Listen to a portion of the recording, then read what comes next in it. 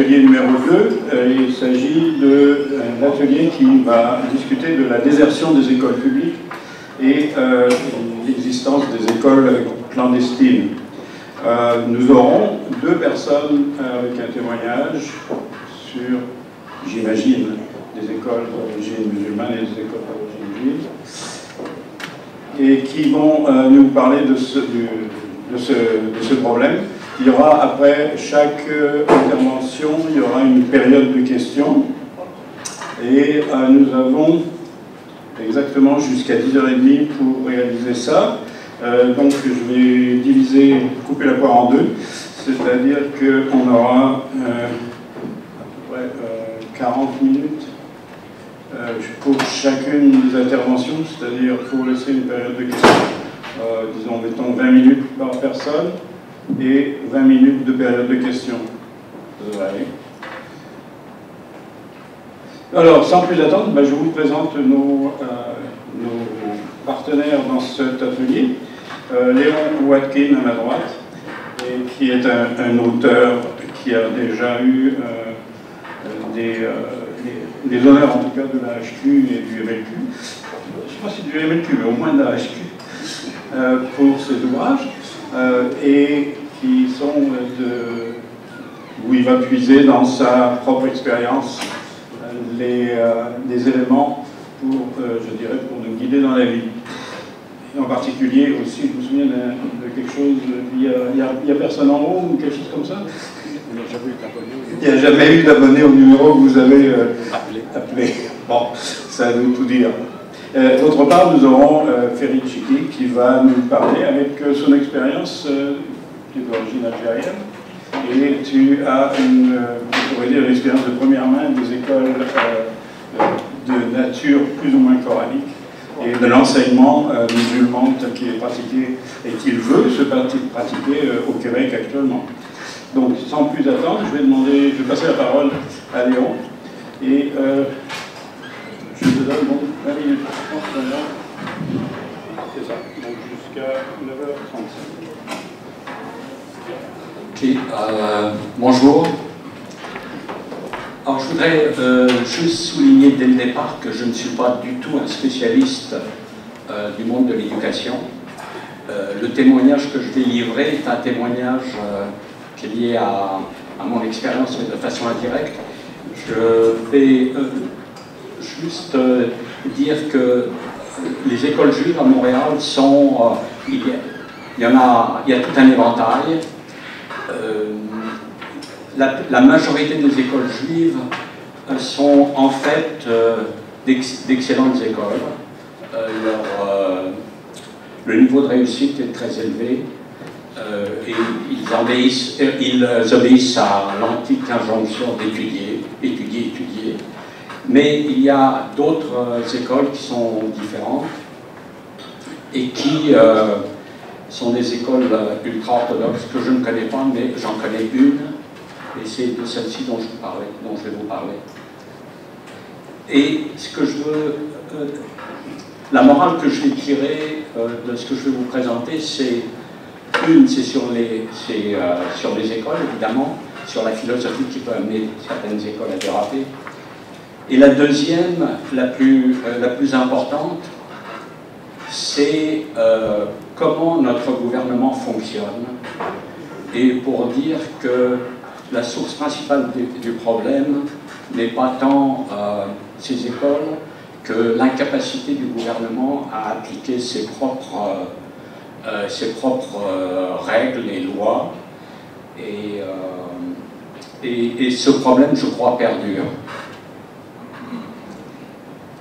il, y a il y a des années, je dirigeais un centre de services sociaux, le plus petit du Québec, qui s'appelait le Centre de services sociaux juifs à la famille. En fait, le nom était tel, c'est comme l'hôpital général juste, c'était ouvert à tout le monde, mais le nom subsistait, puisque les services sociaux lorsqu'ils ont été nationalisés, euh, ont été nationalisés à partir des agences de services à la famille qui existait auparavant et qui essentiellement avait été créée par les communautés distinctes, catholiques, protestantes et, et juives.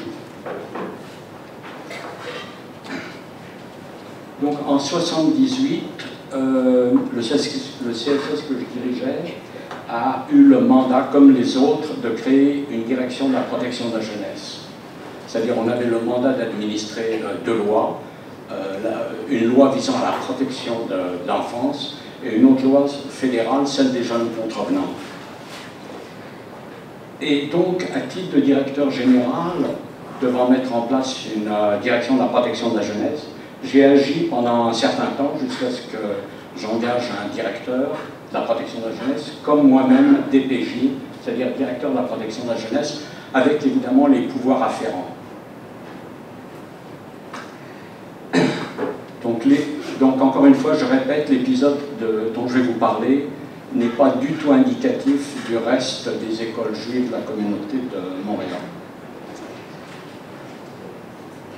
Alors les faits, très rapidement. Fin janvier 1979, ça remonte assez loin, je reçus des signalements inquiétants concernant la façon dont une école juive, le lycée Yeshiva, traitait ses élèves pensionnaires.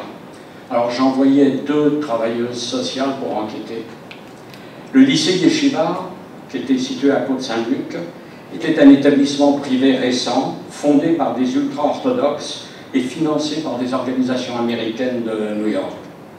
Leurs seuls élèves, à peu près une cinquantaine, étaient des jeunes garçons juifs de 6 à 13 ans qu'un rabbin, que je vais appeler Monsieur X, avait recruté au Maroc en promettant à leurs parents juifs que leurs enfants seraient totalement pris en charge, qu'ils recevraient gratuitement une excellente éducation, leur garantissant ainsi un meilleur avenir que celui qu'ils auraient eu dans leur pays natal. Alors, le rapport qu'on me remit fin janvier était accablant. Du point de vue académique, le programme ne respectait manifestement en rien les directives gouvernementales, mais sur ce point, en tant que DPJ, je n'avais aucun mandat. Au niveau de la santé physique et psychologique des enfants, c'était affreux. Les enfants étaient mal nourris, vivant dans des conditions d'hygiène déplorables, sans couverture sanitaire, ce qui fait que l'école ne consultait ni médecin ni hôpital, soignait toutes les maladies avec les deux ingrédients seulement, la prière et l'aspirine. Un enfant avait une hépatite et un autre une fracture. Certaines chambres avaient des vitres cassées. En hiver, les enfants euh, euh, grelottaient la nuit. Je rencontrais d'urgence le directeur, le rabbin X, pour lui faire part de ma grande inquiétude. Il minimisa autant qu'il put, m'informa que son école était une mitzvah, c'est-à-dire une bonne action, euh, une œuvre sainte, que certes il pouvait y avoir des petits problèmes, mais que tout allait se régler avec l'aide de Dieu. Après lui avoir remis une liste de 18 recommandations très très concrètes, je lui dis qu'il avait 30 jours pour tout régler, sinon je ferais sortir tous les élèves et qu'entre-temps les enfants souffrants iraient à l'hôpital général juif et qu'il y aurait des visites quotidiennes de nos intervenants. Je le quittais avec un sentiment d'extrême inconfort, car il était clair que le personnage était un fourbe et un menteur. D'un autre côté, je devais lui accorder le bénéfice du doute quant à la mise en œuvre des recommandations auxquelles il s'était engagé. Je me rassurais du fait des visites quotidiennes que nos travailleurs sociaux effectueraient. Début mars, je retournais voir le rabbin X. La situation n'avait changé en rien, à l'exception des soins prodigués aux enfants que nous supervisions nous-mêmes. Le rabbin X estimait que tout était réglé depuis leur prise en charge sanitaire, minimisant les mauvais traitements qu'ils continuaient à leur infliger sous prétexte de discipline. J'avais en face de moi non seulement un illuminé en service commandé, mais un personnage dangereux car il était intimement persuadé qu'un dirigeant juif, euh, moi en l'occurrence, n'aurait jamais le culot d'entamer des procédures pour faire fermer une école religieuse. Alors mes interventions au niveau du contenu académique, je me contentais d'envoyer une note au ministre de l'Éducation nationale de l'époque, sans faire aucune recommandation, car je n'avais aucun mandat à ce titre. Par contre, pour ce qui touchait à mon obligation de protection des enfants, j'écrivais au ministre de la Justice et de la Santé, au ministre de la Justice et à celui de la Santé et des Services sociaux, en demandant la fermeture de l'école, dont tout montrait qu'elle fonctionnait illégalement et mettait la santé et la sécurité des enfants en danger. Alors, sans attendre les réactions des ministres, ni celles de leurs parents vivant au Maroc, il était urgent de sortir les enfants de cette école. Il y en avait une cinquantaine. Il n'était pas question de les placer dans un milieu qui ne fut pas très orthodoxe, car leurs parents les avaient confiés à cette école précisément parce qu'elle offrait apparemment des garanties d'orthodoxie religieuse. Aussi, je, contactais une école ultra-orthodoxe de Montréal, une école juive, euh, la Yeshiva Gedora, dont, dont, je respectais beaucoup le directeur, le rabbin Gloustine, un homme intègre et pragmatique.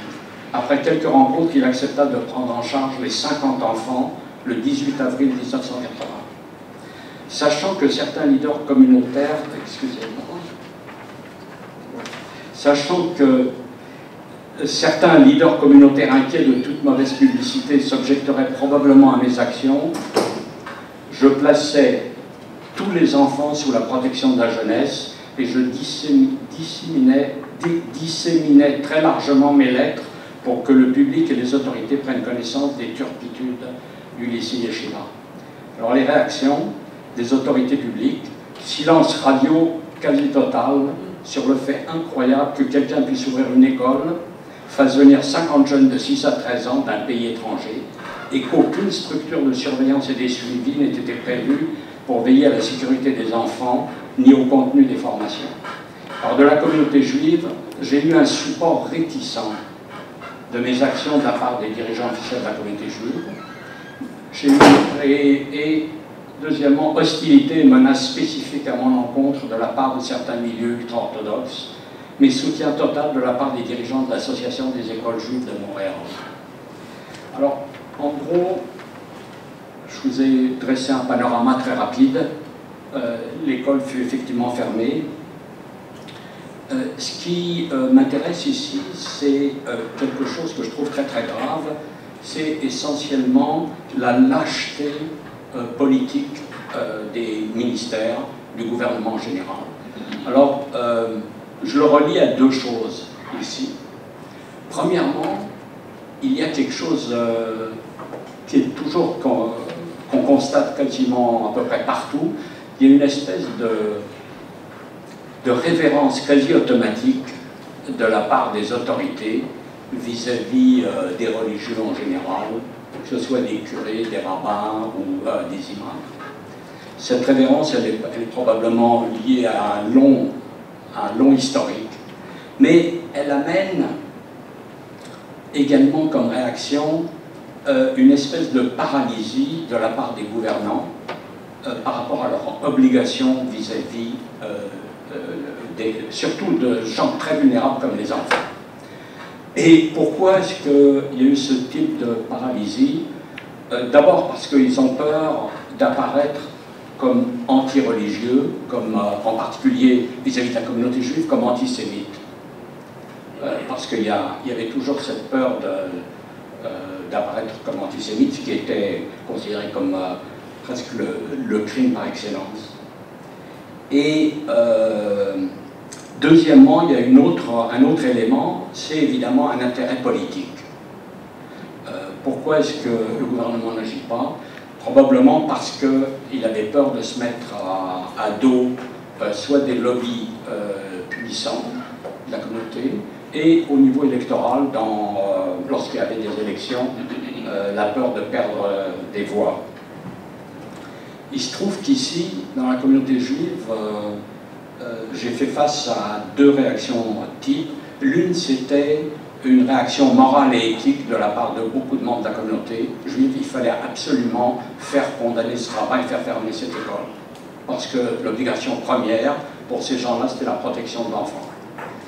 Euh, mais il y a évidemment euh, une communauté ultra-orthodoxe qui voyait ça d'un euh, très mauvais œil, pour ne pas dire plus. J'ai eu plusieurs menaces très très spécifiques à mon encontre. Euh, parce que euh, l'idée de faire fermer une école, une école religieuse était presque pour eux un crime intolérable, peu importe le prix à payer par les enfants. Alors, comment dirais-je, ce que j'en tire et ce qui me rend toujours très triste, c'est que 40 ans après, j'ai l'impression que le gouvernement a toujours cette même attitude de démission face à, aux groupes religieux, parce qu'il semble que bien que les, bien qu'au niveau de la charte des droits, il n'y ait pas un droit de supérieur à un autre, euh, le droit, euh, la liberté religieuse, et même plus que la liberté religieuse, il n'est pas un droit comme les autres, on lui accorde une préséance quasi euh, inconsciente, automatique, sur tous les autres droits. Et c'est quelque chose dont, qui, entraîne, qui a des conséquences au niveau de l'impéritie du gouvernement, l'absence d'autorité et la nécessité d'intervention. Moi, j'ai pu intervenir parce que euh, la loi de protection de la jeunesse donnait au DPJ des pouvoirs très spécifiques, que même publiquement, ni euh, aucun homme politique n'aurait pu euh, vouloir contredire. C'est pour ça que c'est passé comme une lettre à la poste. Personne n'a protesté lorsque j'ai fait sortir tous les enfants. Alors, je pourrais répondre tout à l'heure aux questions de façon plus détaillée. Merci.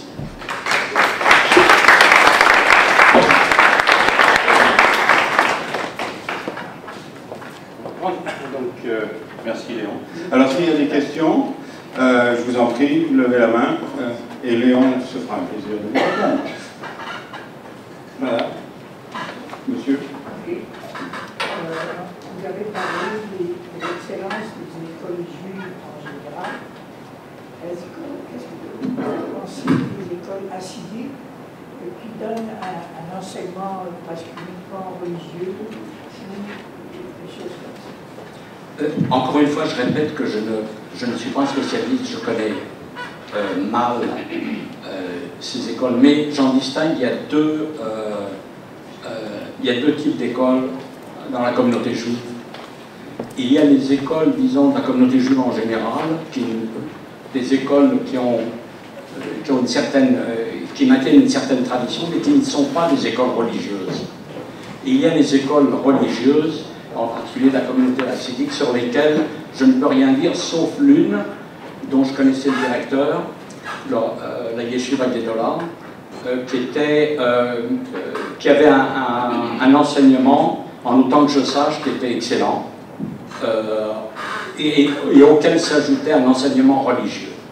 Mais sinon, en général, j'ai personnellement une méfiance absolue vis-à-vis de tout enseignement où les religieux interviennent.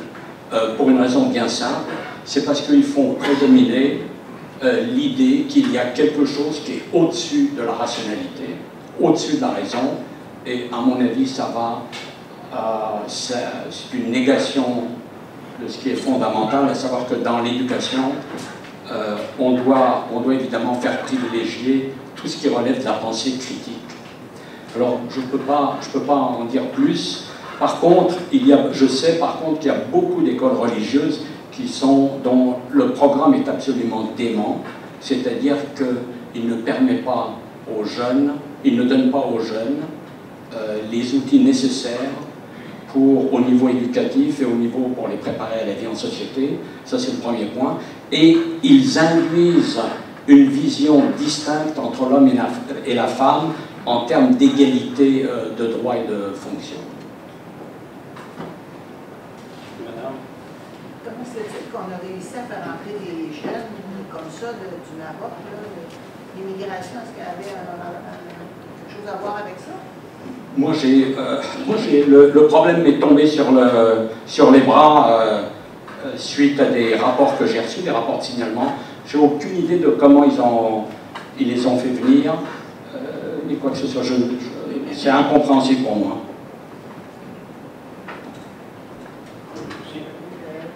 Je vais vous dire que j'ai contacté M.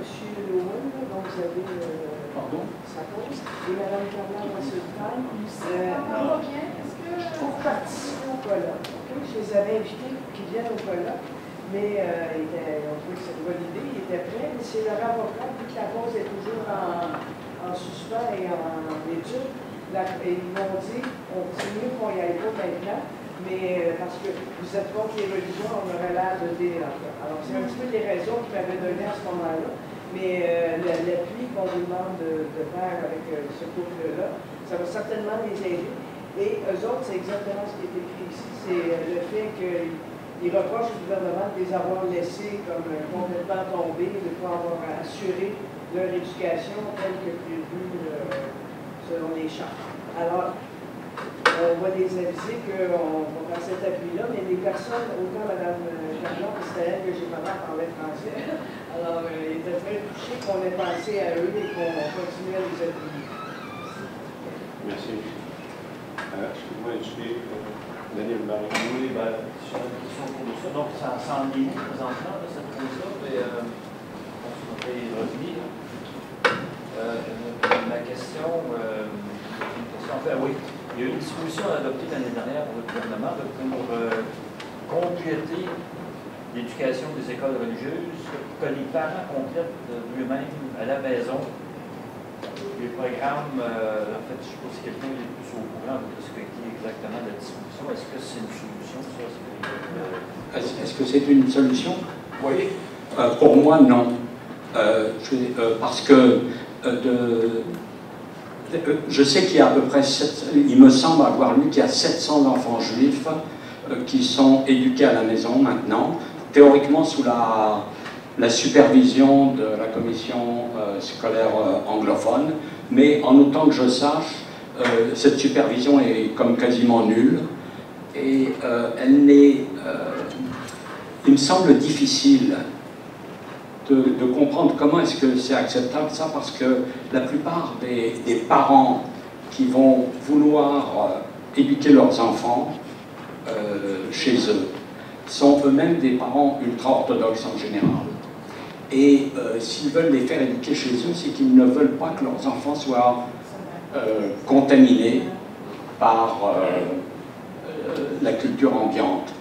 Et ces parents ne sont manifestement pas la plupart apte à donner un enseignement équilibré en ce sens que à faire que on ne transmet pas simplement des connaissances, on transmet également une façon d'analyser les choses, c'est-à-dire on essaie de développer l'esprit critique, et ça c'est absent. Or, la commission scolaire qui est, censée euh, superviser tout ça, euh, ce que je lis et ce que j'en sais, les feedbacks que j'en ai, c'est qu'elle ne fait pas son travail correctement. Euh, moi, je voudrais euh, faire un témoignage qui est délicat. Euh, il y a 2-3 ans, j'ai monté la fondation Raïf Badawi pour la liberté et je devais absolument avoir du temps pour pouvoir m'en occuper. Alors je me suis dit, je vais retourner dans ma première job dans ma vie, c'était l'enseignement. Alors le plus facile a été pour moi d'aller dans une école juive et j'avais envie de faire cette expérience précise d'une école juive religieuse. J'ai passé un an dans cette école. Euh, je vais la nommer, l'école Yavne. Le, le, rabbin dit toujours nous sommes une école laïque. C'est vrai que c'est une école laïque. C'est vrai qu'à l'intérieur des écoles juives, il y a des écoles laïques qui appliquent le programme du gouvernement à la lettre. Quand je suis rentrée dans l'école, il m'a donné, il donné euh, euh, le programme et il m'a dit il y a le cours de CR que tu vas devoir enseigner également, puisque tu enseignes monde contemporain secondaire 5, etc. etc. Moi, j'ai dit, je n'enseigne pas ce cours-là parce que je suis contre ce cours-là. Il m'a dit, mais c'est un cours obligatoire du gouvernement. Ben, j'ai dit, moi, je ne l'enseigne pas, je vais enseigner euh, la Déclaration des droits de l'homme à partir de la Déclaration de l'homme à nos jours et les chartes des droits et libertés, etc. C'est ce que j'ai fait toute l'année je me suis obstinée avec lui, puis il m'a dit, écoute, tu es libre, c'est ta classe, etc. À un moment donné, euh, j'avais enseigné, euh, j'avais fait écouter, parce qu'on est fait écouter Félix Leclerc dans le programme, euh, Ariane Moffat, et on me dit, tu ne peux pas faire écouter de la musique de femmes dans ta classe. Ah, je dis pas, parce que ça peut stimuler l'imaginaire des garçons, parce que j'enseignais spécifiquement aux garçons. Alors je me suis encore obstinée avec le rabbin, je lui ai dit justement, mon cours est justement pour stimuler l'imagination des garçons. Et il a recommencé en me disant, écoute, tu es libre de faire ce que tu veux dans ta classe, finalement. Alors tout le long de l'année, c'était comme des petites allusions comme ça. Et effectivement, à un moment donné, on m'a demandé une liste des livres que les enfants pouvaient lire. J'ai donné des listes de livres, mais je ne vous dis pas, ça serait, ça serait même... Euh, des livres qui seraient refusés dans certaines écoles, qui ont été acceptés dans l'école et qui ont été distribués aux enfants. Alors c'est vrai que cet enfant-là, cette école-là est fréquentée par des juifs euh, religieux, l'école Yavne. Oui, elle est à Côte-Saint-Luc, euh, l'école Yavne, elle est, il y a les filles, les garçons, etc. elle est fréquentée donc par des juifs spécifiquement qui portent les tzitzit. Moi, j'ai tout appris parce que je suis juive mais non pratiquante. Donc, j'ai tout appris au cours de l'année. Et il est vrai qu'à partir de 10h moins quart le matin jusqu'à 5h, 17h, tout l'enseignement est laïque. Tout l'enseignement. Les professeurs sont des professeurs qui viennent de partout dans le monde, qui ne sont pas religieux, qui ne sont pas juifs. Je veux faire ce témoignage pour contrebalancer sur l'image et l'impression qu'on a des écoles juives.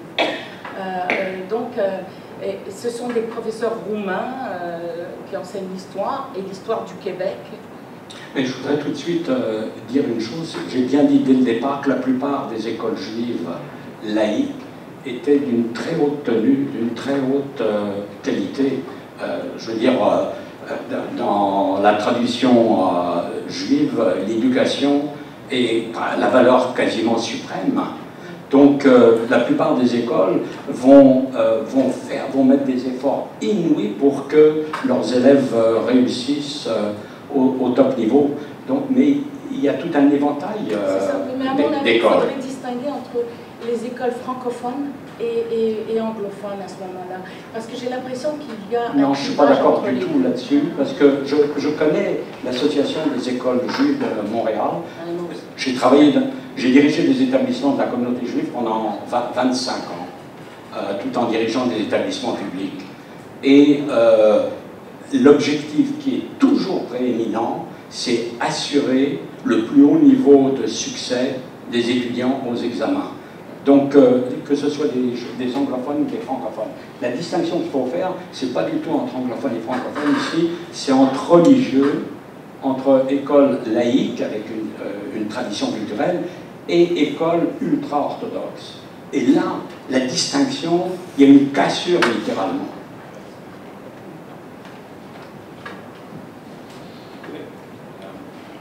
Moi, euh, je veux revenir sur, les, sur les, écoles juives en général que j'ai connues pendant 12 ans.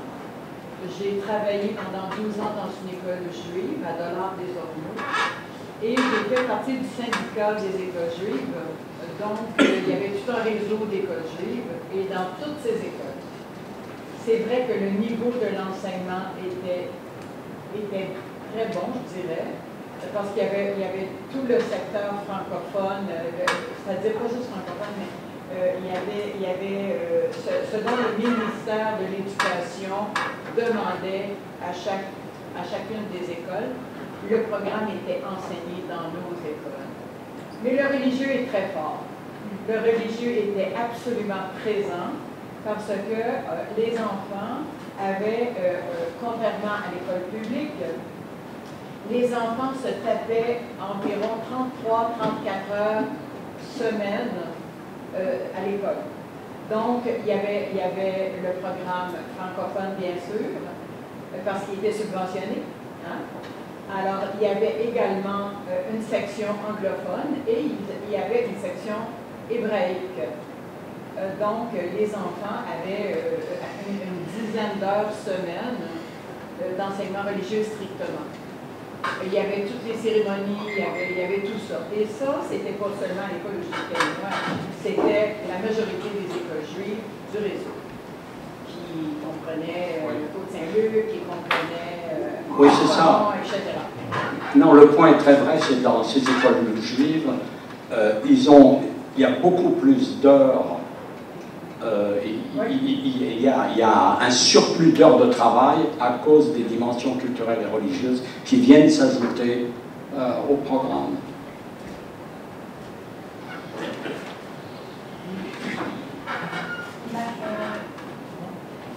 Je me pose la question précisément je m'excuse, j'entends rien.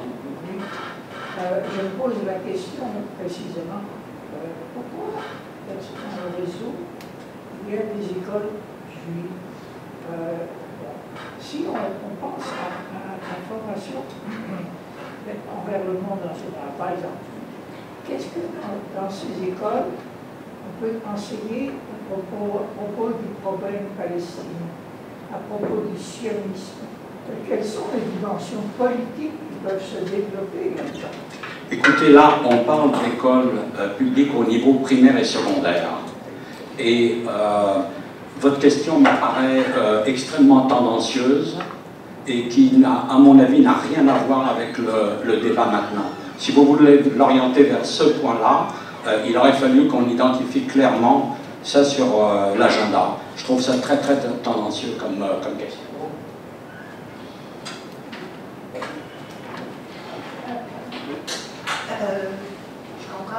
Le ministère de l'Éducation n'oblige pas les écoles, euh, par exemple, à donner le programme du ministère le jour et les autres heures de permettre la religion s'ils veulent, là, ce sera optionnel. Là, on fait l'inverse. On leur permet de passer toute la journée en religion, puis le soir, les parents, ben, ils ne doivent pas faire grand-chose. Comme j'ai dit, le premier, le premier responsable, c'est le gouvernement. Et, euh, et a un principe de droit qu'on n'a pas, on n'a pas le droit euh, de justifier ces écarts au nom de sa propre turpitude, mais euh, le, gouvernement agit d'une façon totalement inacceptable, de mon point de vue. il y avait quand même un élément dans la question de M. de son intervention, comment ça se fait qu'il y a des écoles juives dans le système supposément laïque. Est-ce que ce sont toutes des écoles privées? Les écoles, les écoles juives, bah, par définition, c'est-à-dire qu'elles reçoivent un financement comme les autres écoles euh, privées du gouvernement. Par exemple, moi, mes, deux enfants, ma fille et mon fils, je les ai envoyés dans une école de jésuites Brébeuf. Euh, non pas parce que je suis particulièrement euh, amoureux des jésuites, mais parce que je considère que c'était une bonne école. Et, donc, euh, mais c'était une école qui était également financée partiellement par le gouvernement. C'est exactement le même. Euh, ce, que je, ce que je regrette, j'ai appris euh, il n'y a pas très longtemps que l'Ontario, il n'y avait pas de financement des écoles privées en Ontario. Est-ce que je me trompe? Et c'est l'histoire du Québec, c'est-à-dire, il y, a, des racines historiques qui ont, qui ont fait cette. Il ne faut pas oublier quand même que l'Ontario, je, m'occupe de Humanist Canada, donc je suis en contact avec les humanistes ontariens en permanence. Et euh, le gros problème de l'Ontario, c'est les écoles publiques religieuses, puisqu'ils ont toujours un réseau complet d'écoles. C'est énorme. C'est presque la moitié des commissions scolaires en Ontario qui sont de type euh, public, religieux, catholique et uniquement catholique. Euh, le reste, c'est ce qu'ils appellent l'enseignement euh, séculaire, séculier, mais c'est pas. À l'origine, c'était en fait le réseau protestant qui est devenu pour tout le monde, de fait. Mais c'est le problème, et, j'étais sur la colline parlementaire il y, a, un mois, justement pour dénoncer avec mes collègues ontariens le cette situation qui fait que l'Ontario dépense plus d'un milliard par an sur des écoles religieuses. Donc, avant de dire bravo l'Ontario, ça, ça, prouve une chose, c'est que j'ai une, une, connaissance très lacunaire du système et mon respect pour l'Ontario vient d'en prendre un sacré coup. Que ces écoles-là, ce pas des écoles qui vont protéger les francophones en Ontario Alors, Là, ça, ça c'est le grand mythe, et je vous explique pourquoi. Parce que euh, il y a sur il y a 24, 20 ou 24 commissions scolaires en Ontario qui sont catholiques. Sur ces 24, il y en a 4 qui sont francophones. La majorité des, euh, la très grande majorité de ces euh, commissions scolaires sont des, des commissions scolaires anglophones catholiques. C'est ça le problème. Bon, le fait, oui, que peut-être que ça a aidé au, maintien euh, de. Je veux dire, si c'était vrai, euh, à ce moment-là, qu'est-ce qui s'est passé au Québec? On a abandonné nos écoles Est-ce qu'on a perdu notre langue? Non. Donc euh, il ne faut peut-être pas rêver non plus et s'imaginer que en Ontario, ça devrait être différent et que la perte de ces écoles, en fait, c'est pas la perte. La question, c'est d'avoir un système francophone qui fonctionne en Ontario. Et bon, ils vont peut-être avoir une université francophone en Ontario. C'est un autre point important.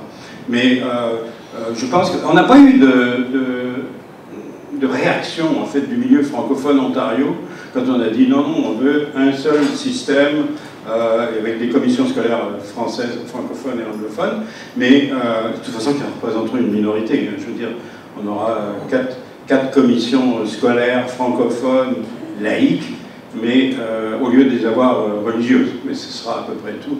Et ça, ne joue pas sur la, grande, le grand problème de, l'Ontario, qui est ce, ce monstre qui leur bouffe de l'argent pour... Parce que ça pose des problèmes invraisemblables. Le, le, fait est que ces, ces écoles d'État euh, religieuses catholiques peuvent se permettre le luxe d'abord de filtrer les, euh, les, les, enfants qui viennent à leur école, mais en général ils ont plutôt tendance à en prendre plus que pas assez, mais surtout de refuser des enseignants qui ne sont pas catholiques. Donc vous avez le pool des, euh, des, des, enseignants en Ontario, non, selon leur religion, ont la possibilité d'enseigner dans tout le système ou seulement dans une partie du système. Donc ça, c'est aussi une discrimination qui est manifeste. Alors c'est pour ça qu'on espère que ça va finir par disparaître. Voilà. Je crois qu'il y a une question là. Alors, c'est Michel. Oui, j'aurais euh, deux questions et un commentaire peut-être. La première question, c'est pourquoi les écoles sont tous privées? Euh, au niveau des, écoles juives? Euh, je trouve ça, pourquoi elles sont tous privées? Ah ben, écoutez, je regarde comment. Moi, j'ai été à l'école. Moi, été à l'école de la République en France, à l'école primaire et l'école secondaire et euh, ici, j'ai envoyé mes, écoles, mes enfants dans des écoles privées, c'est-à-dire à, à Brébeuf. Tout simplement parce que, euh, en, tant que euh, en tant que parent, mon obligation première, c'était d'assurer ce que je pensais être le meilleur, le meilleur niveau possible pour mes enfants. Donc, je les envoie à Brébeuf.